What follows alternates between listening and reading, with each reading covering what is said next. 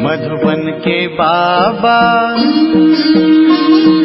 मधुबन के बाबा मुरली वाले आपका क्या कहना? आपका क्या कहना? ओम शांति। आज 5 दिसंबर 2023 के साकार मधुर महावाक्य है। आज मीठे मीठे पापा दादा बोले मीठे बच्चे कल्याणकारी बाप अभी तुम्हारा ऐसा कल्याण कर देते हैं जो कभी रोना न पड़े। रोना अकल्याण व देह अभिमान की निशानी है। बाबा ने कहा, मीठे बच्चे, कल्याणकारी बाप अभी तुम्हारा ऐसा कल्याण कर देते हैं जो कभी रोना ना पड़े। रोना अकल्याण व देह अभिमान की निशानी है। बाबा ने आज प्रश्न पूछा कि किस अटल भावी को जानते हुए तुम्हें सदा निश्चिंत रहना है। और उत्तर में बाबा समझाते कि तुम जानते हो कि इस पुरानी दुनिया का विनाश अवश्य होना है। भल पीस के लिए प्रयास करते रहते हैं, लेकिन नर चाहत कुछ और? कितना भी कोशिश करें, ये भावी टल नहीं सकती। नेचुरल कैलमिटीज आदि भी होनी है। तुम्हें नशा है कि हमने ईश्वरीय गोद ली है जो साक्षात्कार किए हैं, वह सब प्रैक्टिकल में होना ही है। इसलिए तुम सदा निश्चिंत रहते हो। ओम शांति। विश्व में मनुष्यों की बुद्धि में भक्ति मार्ग का ही गायन है, क्योंकि अभी भक्ति मार्ग चल रहा है। यहाँ फिर भक्ति का गायन नहीं है, यहाँ तो बाप का गायन है। बाप की महिमा करनी होती है, जिस बाप से इतना ऊंच वर्षा मिलता है। भक्ति में सुख नहीं है। भक्ति में रहते हुए भी याद तो स्वर्ग को करते हैं ना।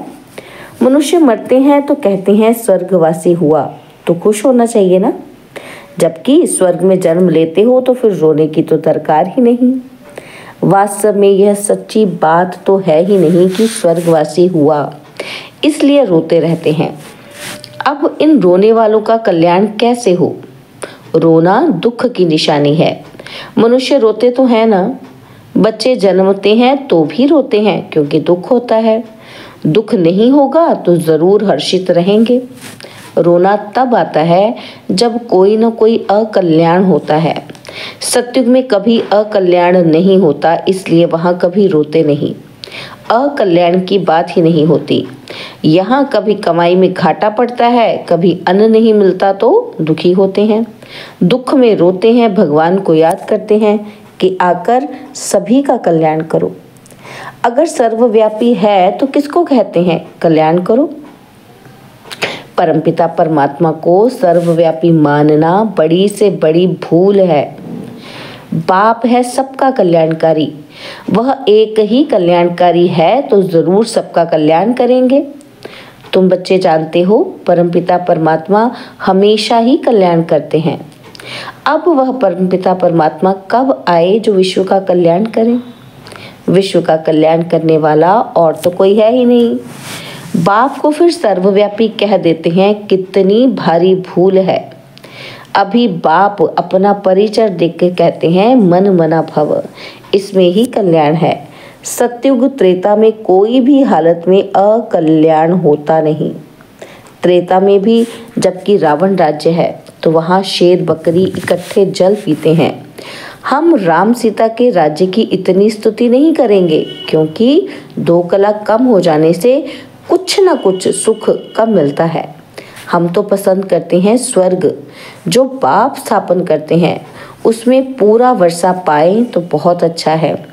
ऊंच ते ऊंच बाप से वर्षा ले हम कल्याण करें। हर एक को अपना कल्याण करना है श्रीमत पर। बाप ने समझाया है, एक है आसुरी संप्रदाय, दूसरा है दैवी संप्रदाय।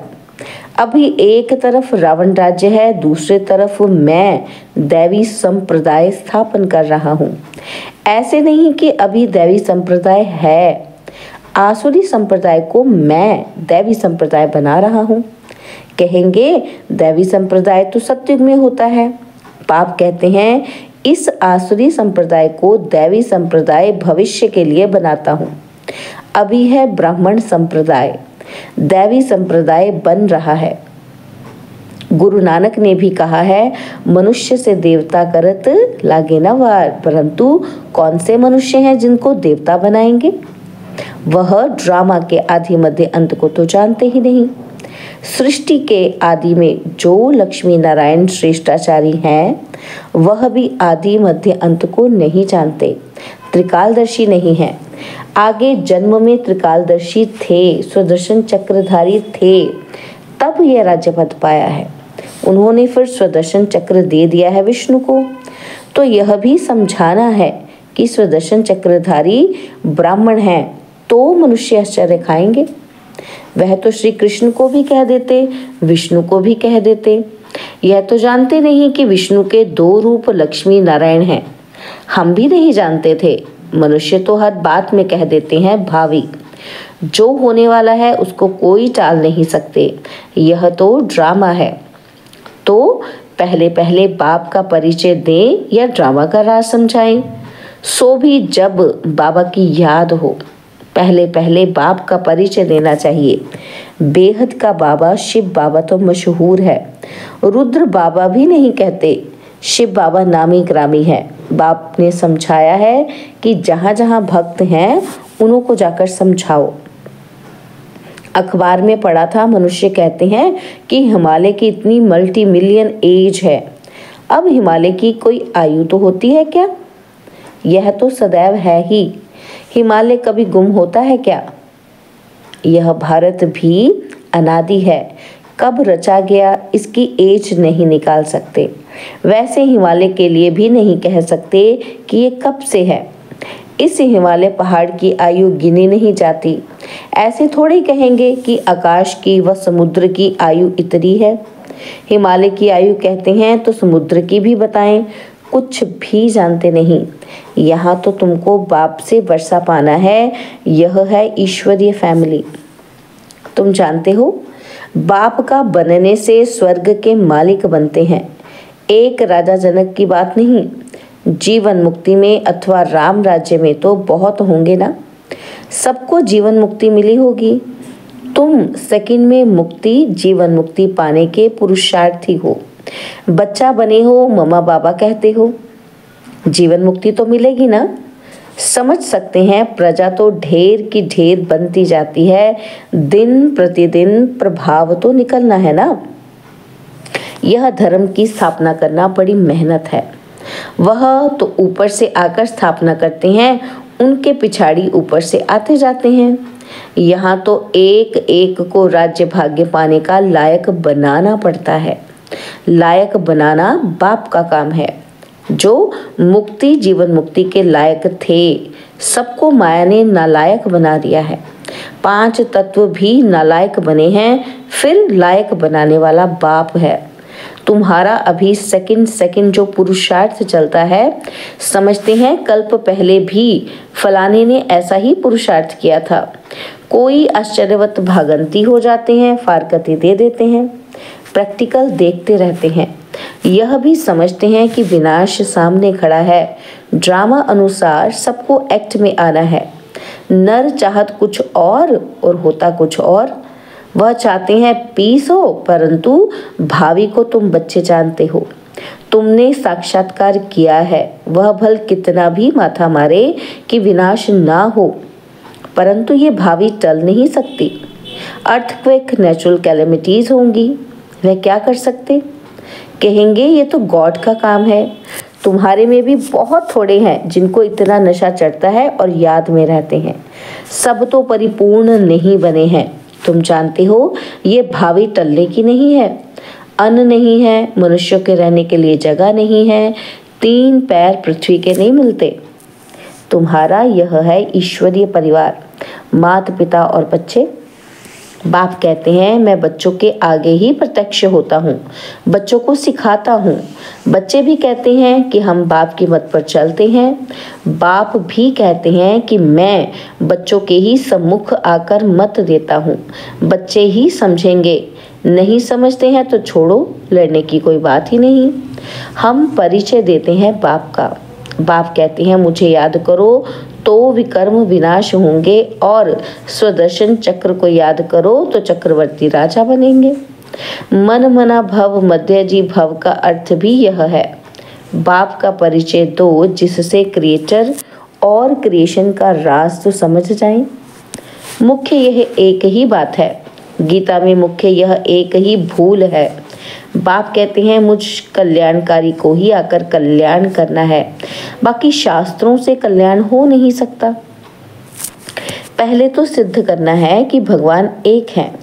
उनको तुम याद करते हो, परंतु जानते नहीं हो। बाप को याद करना है तो परिचय भी चाहिए ना? वह कहाँ रहते हैं, आते हैं कि नहीं?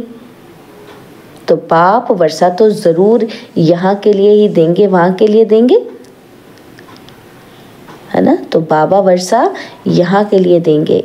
बाप तो सम्मुख चाहिए। शिवरात्रि भी मनाते हो। शिव तो सुप्रीम फादर है। सब आत्माओं का। वह रचता है। नई नॉलेज देते हैं। सृष्टि चक्र के आधि मध्य अंत को वह जानते हैं। वह है ऊँचे से ऊँचा टीचर जो मनुष्य को देवता बनाते हैं, राजयोग सिखलाते हैं। मनुष्य कभी राजयोग सिखला ना सके। हमको भी उसने सिखलाया, तब हम सिखलाते हैं। गीता में भी शुरुआत में और अंत में मन मना भव और मध्यजी भव कहा है। झाड़ और ड्रामा का नॉलेज भी बुद्धि में रहता है। डिटेल में समझाना पड़ता है। रिज़ल्ट में फिर भी एक बात आती है, बाप और वर्षे को याद करना है। यहाँ तो एक ही बात है, हम विश्व के मालिक बनेंगे। विश्व का कल्याणकारी ही विश्व का मालिक बनाते हैं। स्वर्ग का मालिक बनाएँगे, नरक का थोड़ी मालिक बनाएँगे। दुनिया ये नहीं जानती कि नरक का रचयिता रावण है और स्वर्ग का रचयिता बाप है। अब बाप कहते हैं, मौत सामने खड़ा है। सबकी वानप्रस्थ अवस्था है। मैं लेने आया हूँ। मुझे याद करो तो विकर्म विनाश होंगे। आत्मा मैली से शुद्ध हो जाएगी, फिर तुमको स्वर्ग में भेज देंगे। यह निश्चय बुद्धि से किसी को समझाना है। तोते मुआफिक नहीं। निश्चय बुद्धि को फिर रोने की व देह अभिमान में आने की बात ही नहीं रहती। देह अभिमान बहुत गंदा बना देता है। अब तुम देही अभिमानी बनो। शरीर निर्वाह अर्थ कर्म करो। वह तो कर्म सन्यासी बन जाते हैं। यहाँ तो तुमको ग्रस्त व्यवहार में रहना है, बच्चों को संभालना है।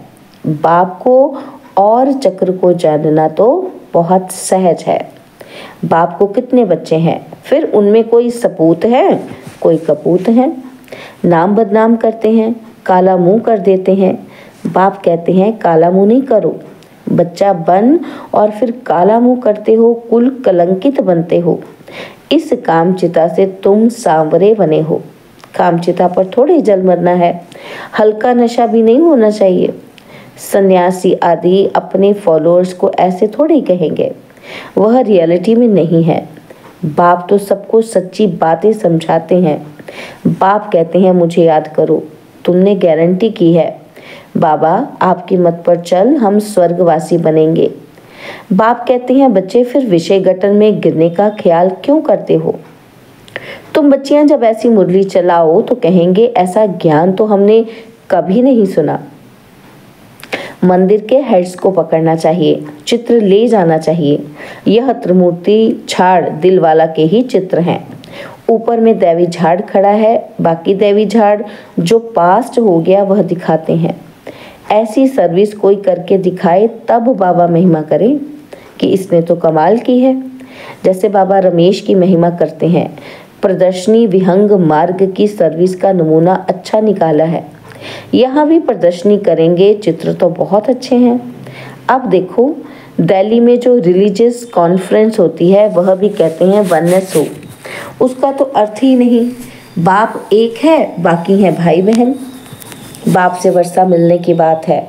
आपस में मिल्क शीरखंड कैसे होंगे, यह बातें समझने की हैं। प्रदर्शनी में वृद्धि के लिए युक्ति रचनी है। जो सर्विस का सबूत नहीं दिखाते उनको तो लज्जा आनी चाहिए। अगर दस नए आए और आठ दस मर गए तो इससे फ़ायदा क्या हुआ? अच्छा मीठे मीठे सिकिलते बच्चों प्रति माता पिता बाप दादा का याद, प्यार और गुड मॉर्निंग। रूहानी बाप की रूहानी बच्चों को नमस्ते। हम रूहानी बच्चों की रूहानी बाप दादाजी को दिलवा जान सिकवा प्रेम से नमस्ते। ओम शांति, प्यारे बाबा, मीठे बाबा, मेरे बाबा, शुक्रिया बाबा शुक्रिया बाबा, शुक्रिया। धारणा के लिए मुख्य सार है, पहला पॉइंट है, शरीर निर्वाह अर्थ काम करते देही अभिमानी रहने का अभ्यास करना है। किसी भी परिस्थिति में रोना व देह अभिमान में नहीं आना है। और सेकंड पॉइंट है श्रीमत पर अपना और दूसरों का कल्याण करना है। सपूत बन बाप का नाम बाला करना है। तो बाबा ने आज वरदान दिया, व्यर्थ संकल्पों को समर्थ में परिवर्तित कर, सहज योगी बनने वाली समर्थ आत्मा भव। व्यर्थ संकल्पों को समर्थ में परिवर्तित कर, सहज योगी बनने वाली समर्थ आत्मा भव। कई बच्चे सोचते हैं कि मेरा पार्ट तो इतना दिखाई नहीं देता, योग तो लगता ही नहीं, अशरीरी होते ही नहीं, ये हैं व्यर्थ संकल्प। इन संकल्पों को परिवर्तित कर समर्थ संकल्प करो कि याद तो मेरा स्वधर्म है। मैं ही कल्प कल्प का सहयोगी हूँ, सहज योगी हूँ। मैं योगी नहीं बनूँगा तो कौन बनेगा? कभी ऐसे नहीं सोचो कि मैं क्या करूँ। मेरा तो शरीर ही नहीं चल सकता। ये पुराना शरीर तो बेकार है। नहीं। वाह वाह के संकल्प करो, कमाल गाओ, इस अंतिम शरीर की तो समर्थी आ जाएगी। तो स्लोगन है, शुभ भावनाओं की शक्ति दूसरे की व्यर्थ भावनाओं को भी परिवर्तन कर सकती है। शुभ भावनाओं की शक्ति दूसरे की व्यर्थ भावनाओं को भी परिवर्तन कर सकती है। ओम शांति। और अब यह एक बहुत अच्छी वीडियो भी ज़रूर देखें।